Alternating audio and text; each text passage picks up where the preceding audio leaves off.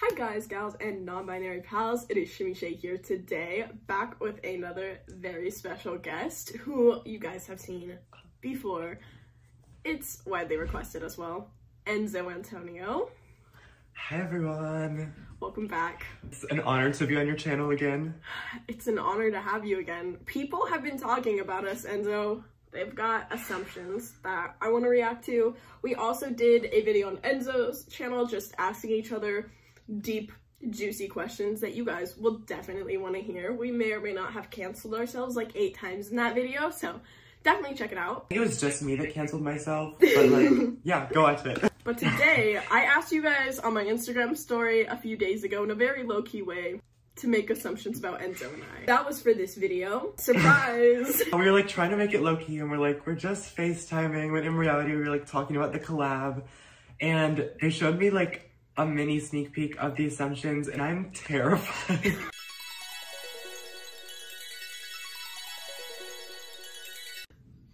you both say material girl all the time. I feel like, I can't remember the last time I've ever used that word to be honest. I always say it because it's it's a TikTok sound, which they probably just assume that you still have TikTok, but the TikTok sound goes like material girl. It's really addicting to say. I say it all the time. Okay, I feel like I feel like I have heard that. For a second, I was thinking about the Madonna song. Yeah. So I, I literally sound like an old like grandma, just like very behind. Like anyway. so, I thought you were talking about Madonna. Yeah, I thought you were talking about Madonna. Anyways, a lot of material girls in my vocabulary. Next assumption is mentally ill. Rude. Ouch. True, yeah, but like, you didn't have to say it. You don't have to repeat Would probably adopt introverts. Sure, why not? Yeah, I am an introvert, so I will take in any other introvert. Bored of YouTube. Oh, this is a question in our last video, or like in the one that we filmed on my channel. Not bored of YouTube. We both still like YouTube. It's just editing. I fear kicks in a lot. Right. I wouldn't say it's false, but like, it's not not true. there's some truth to the statement, but there's a lot of not truth to the statement. Like, maybe burnt out is a better way of saying it. It's not like it's boring, because it's very much like, it requires a lot of energy. Maybe tired would be a better answer. I don't have time for YouTube. I mean, school recently. I definitely wouldn't say that I don't have time for YouTube. It's just more mental health had been bad for a while, so I couldn't mentally handle doing YouTube. Is it something you definitely have to be in like the right mental space for in terms of like filming and stuff? Like I wasn't even getting up and getting ready to like, for myself. I couldn't get ready for a video. Best duo in the world. I think that one's true. A thousand percent true. Thank you so much. Emily left that one specifically, and then she also said that she missed us, and I just wanted to say that we're the best trio, Emily, when you're here. True. Miss you, Emily. We miss you more. we love you. Lots of love. Lots of love. We're still trying to group shift. Very false. Could it be falser? Been, it's been like a year we haven't even talked about that DR again. People ask me about it all the time on my live streams. They're like, have you gone back to your Twilight DR? And I'm like, I only went there to like go with Enzo and I'm not gonna do it without Enzo. Why did I completely forget about that?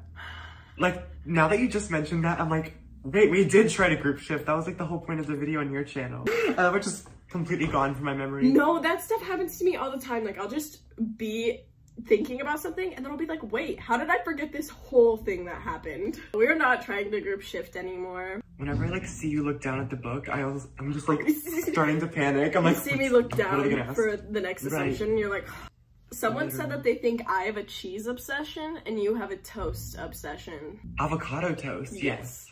I remember that because you you love avocado toast. I wouldn't necessarily say I have a cheese obsession though. I actually specifically hate Swiss cheese. Me too. Swiss cheese is disgusting it's, and should be banned from this earth. It's so foul. I don't know how people can eat it. Right, like whenever I see it on like a menu somewhere, I'm like, so I'm gonna have that without Swiss cheese. Yeah, literally I'll order things and I'll be like, okay, but can you substitute the Swiss for pepper jack or cheddar. Pepper jack, definitely my favorite. I love cheddar and like the fresh mozzarella is so good. But Swiss, disgusting, needs to not exist. So these two were from the same person, but they were separate things. And I think they're really accurate and they kind of hurted my feelings a bit, but it was accurate for mine. It says that you try extra hard to be really nice to everyone. I don't know if this is meant as a compliment, like why am I kind of taking it as one? Whenever I feel like I do have, like whenever I'm like vlogging with friends and stuff, I look at me and I always seem like super tense. Like I feel like somebody else is talking and I'm just like waiting for them to stop talking and I'm like, what are you like, what are you like, are you like rushing? Do you have to be somewhere? Like I seem super like, I don't know. So if somebody would perceive me as like trying to be nice, okay. Trying too hard, no, I don't think so. I think it as like a compliment because I do think that you try your best to be nice to everyone, but not in like the way of like, oh, he's secretly me really mean. Like they're just trying to fake being nice. I think it's more so of like, you're like, I hope this person knows that I have the best intention for them and I want to be kind to this person so that they know that I don't want to hurt them. Right, and sometimes I feel like I let some stuff slide that shouldn't. I feel like I sometimes give people the benefit of the doubt when I should stand my ground. Right. Yeah. Yeah. Mine was Monique means well, but ends up doing crappy things all the time, which hurt my feelings. Very accurate. Really? I mean, I mean, like, especially as of like recently, there have been like people that I don't want to hurt at all, and then I do hurt them, and then I'm like, that wasn't my intention. And then they don't believe me because they're like, oh, you hurt me so bad. Like, how could that have not been your intention? And I'm like, it wasn't. I mean the best for everyone. I just can't do it for some reason all the time. And I'll admit that, like, I can't. Maybe that's why I'm a Slytherin, is because I mean well, but I just end up doing horrible things. I've never met you in real life, but I've never, like, encountered an experience like this with you ever. I have the best intent. I, it's only, like, a couple people, but I still don't like doing it. I don't like hurting people. Yeah. No, but I actually do relate to that. Like, sometimes I think I do, like, try to have a good intention, but I'm like, eh, didn't come off that way. Sorry. It's just, like, sometimes I'm like, oh, I have to make this decision because I have to make a choice for whatever reason. And then like I do something and sometimes it just ends up being like the wrong thing and then it ends up hurting multiple people. And then I'm like, see, this is the this is what I was trying to avoid was hurting anyone. And now I've hurt everyone because I didn't want to hurt anyone. Right, yeah, no, I get that. Enzo is the next Emma Chamberlain. I mean, I wouldn't say it's false. I'm just kidding. Um, I saw that and I like kind of agree with it because you've always given me Emma Chamberlain vibes, like low key. That is like the best compliment I've ever gotten. I remember like someone said that about me too. They're like, she gives me Emma yes. Chamberlain vibes, and I was like, oh my god. Literally, like I I've gotten a few comments like this before about like, oh, you give me like Emma Chamberlain or like Antonio Garza vibes, and I'm like, like, cause like my two like idols, like Thank you. You do. Oh you gosh. give me both of those vibes like at the same time. It's it's really That's like the best compliment ever. Thank you. And I'm telling you this as someone like who knows you too. Right. Oh my gosh. Thanks. I think it's just because they're both like really genuine people and they're genuine in their content and you're the same way. Right. You give off like the most like authentic vibes ever, like on screen and in real life. Or I guess like I guess both would be on screen yeah. because like the only time I have seen you is on screen. But like off like, and on, like on and off camera. That's what I mean. Yes. Yes. I think we have really bad sleep schedules. Both of us? Yes. Summer 2021, we went to bed at like three or four every night. Now I think my parents are very much like, go to bed. So that helps. Yeah, um, summer 2021 definitely would 100% agree with this statement because I was staying up all night and sleeping all day. Now, no. I woke up at 9.45 in the morning today. I'm doing great. I woke up at like 10.15. Monique is a fire sign and Enzo is an earth sign. Yes. I am an earth sign. You give off earth earth sign vibes. Like as someone who knows a lot of stuff about signs, I was actually like, why did they think I was a fire sign? And then my friend was like, it's cause you're aggressive. And I was like, I am not aggressive. And then he was like, see, aggression. I feel like people just associate like fire with like aggression. But like, is that even what a fire sign is?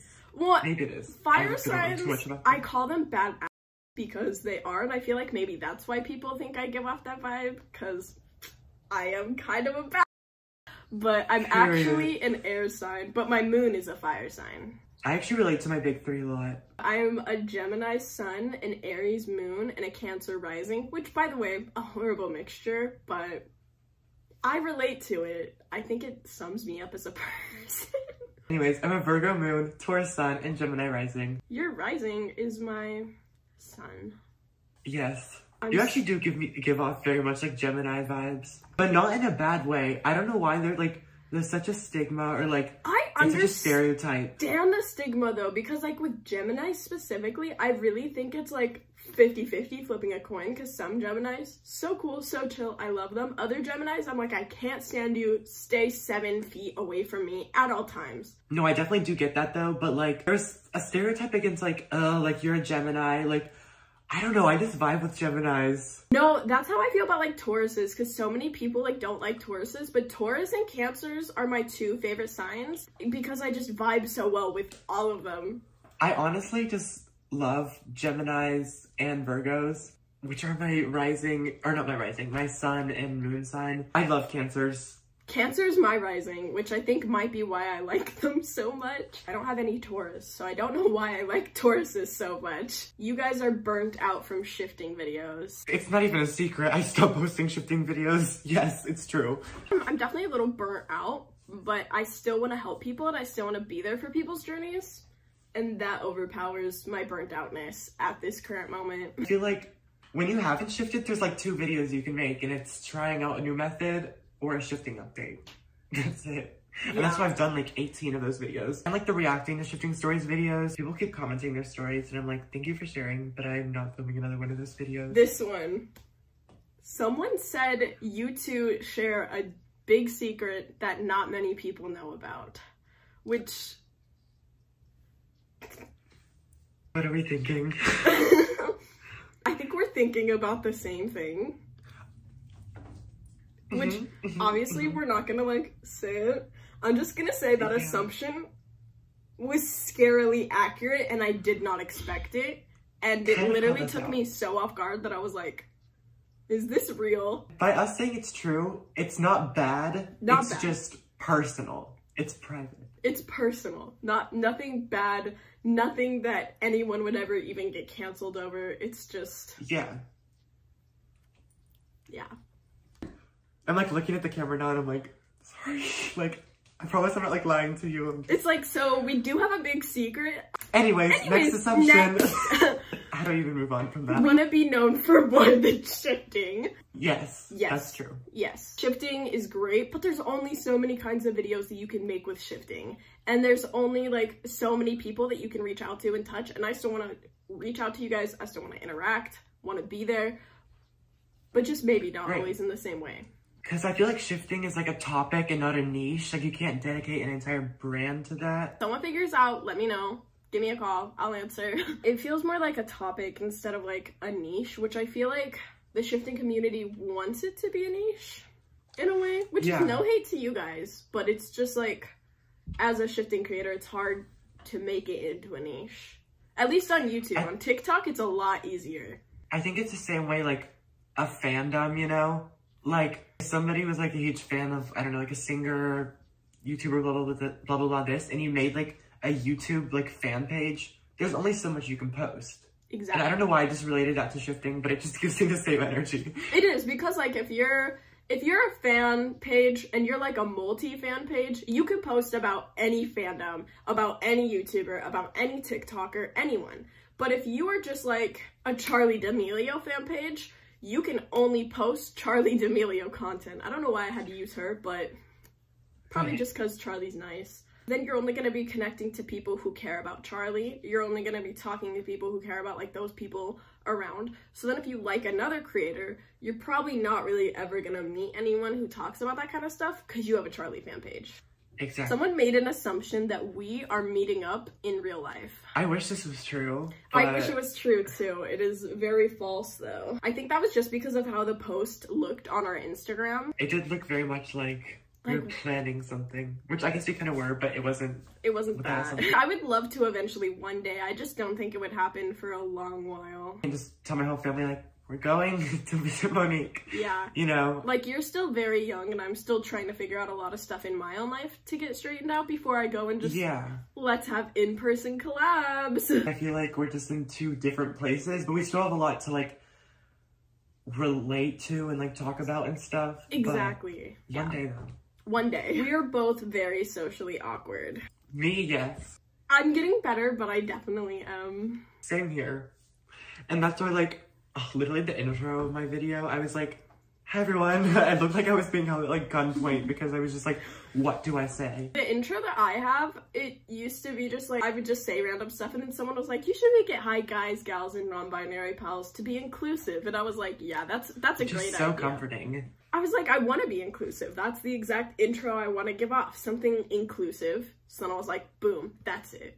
No, I love it. It's so comforting. We did technically go through all of the assumptions that I wrote down in the book, but there was oh. one assumption that I think should kind of be talked about, like a couple that I saw that were sprinkled in there, just about, you know, the S word, shifting, which we talked about on your channel, but I think that we should talk about it on my channel too, that way people can hear it from you twice. Basically, people were just like, oh, Enzo, stop trying to shift, Monique, stop trying to shift, stuff like that. And so stop trying to shift. At first I thought you were gonna say somebody assumed that like I shifted. I was like, anyway, no, I haven't tried to shift since like summer 2021. Um, don't really plan on doing it soon, Yeah. but um, if randomly I do and shift, like I'll tell you, so you don't have to be like, Enzo, did you shift? Did you shift? Which like I don't want to put any negative like energy into this air, but like I don't think it's gonna happen because I don't intend on trying. We'll see. Who knows? I definitely haven't shifted in a while, as I said in like my shifting slash life update. So if you didn't see that, you should definitely check it out. Um, I do plan on shifting again, but the last few times I attempted a shift, I did fail my attempts, which really makes me upset, especially as someone who has shifted and as someone who knows that people want me to shift so they can hear about it. Should we address the last assumption that we've seen about us not being friends? Yeah, that didn't come up in the Instagram questions. A lot of people think Enzo and I are not friends anymore. We aren't, guys. It's true. But Yeah, I'm just kidding. Bye. We still talk a lot, not as often as I feel like we should. It's not like I completely forgot about you. Like we still catch up on each other's lives every like few yeah. weeks. It doesn't matter if even we don't talk for like two months. The second that we do talk after that two month period, I'm going to talk to you the same as I did before that two month period started. Because Right. like a period of not talking just because people drifted, it shouldn't affect the relationship when the two people talk again. We can just call each other even if it's been a while and we just talk. Right, because it's like I think we're both aware that like we have two different lives and like we know that we just have to like live our lives for a second, but we can always like come to each other to talk about it and like catch up and we still like are very aware and like familiar of a lot of the stuff that's going on in each other's lives. But yeah, that is all of the assumptions. How do you feel? We made it through. I'm like kind of relieved. Like when you were like, that's all, I'm like, I know, I could see it just like escape from your face. You're like, "Whew." Thank you guys so much for watching. Definitely check out the video on their channel if you guys have not. And if you guys like this video, please leave a thumbs up. If you hated this video, leave a thumbs up so that I know that you watched it and leave a comment Jeez. telling us what you hated about it or don't because that might hurt my self-esteem. And any last words? let us know what we should do in the future or just like spill your spill your heart out in the comments. I'm just kidding. If you want to do that on my channel, I don't know if Monique can do wants it on my you to channel do too. that. I, I'll read Okay. them all. As always, happy birthday.